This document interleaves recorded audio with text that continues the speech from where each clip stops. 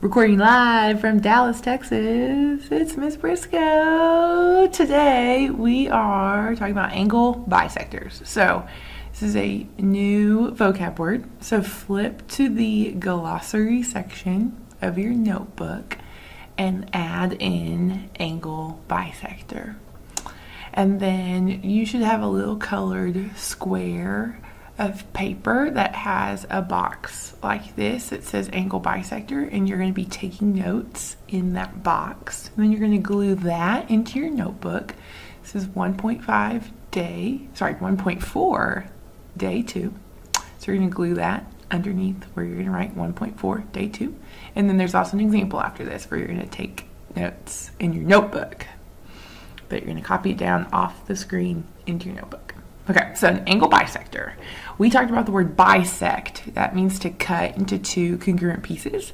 So an angle bisector is something that's going to cut an angle into two congruent angles. So an angle bisector is a ray. So in our picture, it's this blue ray, ray BD, a ray that divides an angle into two congruent angles.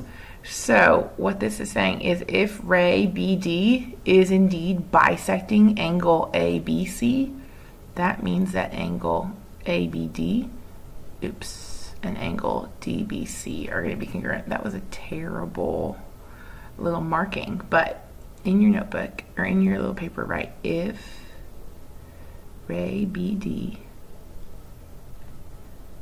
bisects angle ABC, then that means that angle ABD is going to be congruent to angle DBC. So angle ABD is this angle right here, and angle DBC is this angle right here. So the way that we mark angles as congruent is we put a little curvy and if they have the same number of curvies, that means they're congruent. So I could mark these both with one curvy, or I could mark them both with two curvies. But just like when we're marking up segments as being congruent, we put tick marks through the segments that are congruent to each other. With angles, we put these curvy marks. So if they if angles have the same number of curvy lines, that means that they're congruent. Another thing I want to point out this is not an equal sign. This is a congruent symbol.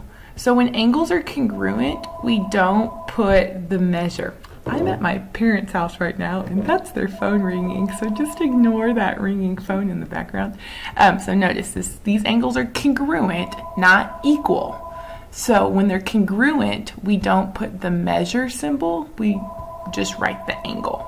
So we could also say the measure of angle ABD is going to be equal to the measure of angle DBC. So if your angles are congruent, you don't put the measure. If your angles are equal, you do put the measure. So you're going to need to copy down this example into your notebook underneath that colored square and then follow along with me and take notes.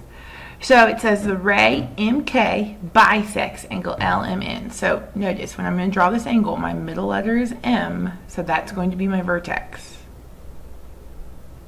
L M N. Here's my angle. And then ray MK, so my endpoint is M, and I'm going to extend it out through K. So ray MK is bisecting angle LMN. It tells us in the problem then that angle L, the measure of angle LMK is 2x minus 12 and that the angle of the measure of angle KMN, KMN is x plus 23. What is the measure of angle LMK, the whole enchilada? So, if ray MK is bisecting this angle, that means that these two angles are going to be congruent to each other. It's cutting that angle into two congruent pieces. So that means that angle LMK and angle KMN are going to be congruent, which means that their measures are equal. So I can set those two angle measures equal to each other. I can say 2x minus 12 should be equal to x plus 23 because this is an angle bisector that makes these two angles equal to each other. Subtract the x from both sides. Add 12 to both sides. And you get x is 35, but that's not what it's asking for. It says, what's the measure of angle L, M, or LMK, which means I'm going to go need to take the 35 and plug it back in for x. So LMK is right here, so I'm going to plug the 35 in for x. 2 times 35 is 70, and 70 minus 12 is 58. I'm not going to lie. I used a calculator. Don't use the calculator. You can do that in your brain. Shame on me. Shame on me. You can judge me for using a calculator.